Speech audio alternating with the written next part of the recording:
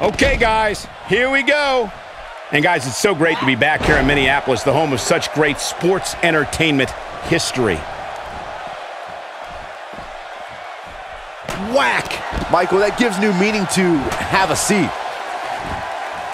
Oh my, with the chair! I think that one finally broke the chair, Michael.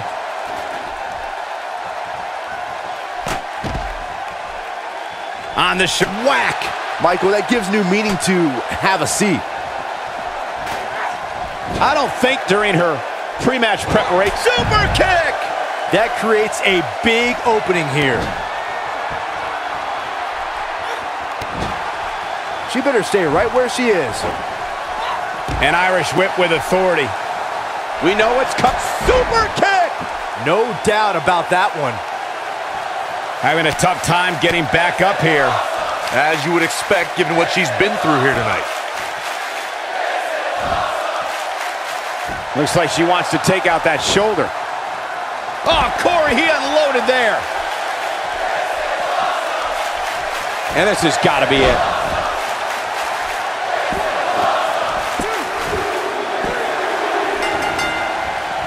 She's in a bad way here. Bottom line, she's got to get up. She can't win this match on her back. She's really relying on that object a lot now.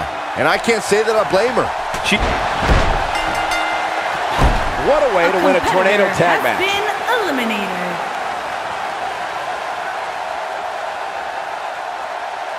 Here are your winners, Rebecca Bryan and Gage Montgomery. Nice teamwork by these two here tonight. These two girls make me think that we should have a women's tag team championship. Who do I have to talk to to get that done? And folks, as a reminder, the action tonight is coming to you from one of the greatest wrestling hotbeds of all time, Minneapolis, Minnesota.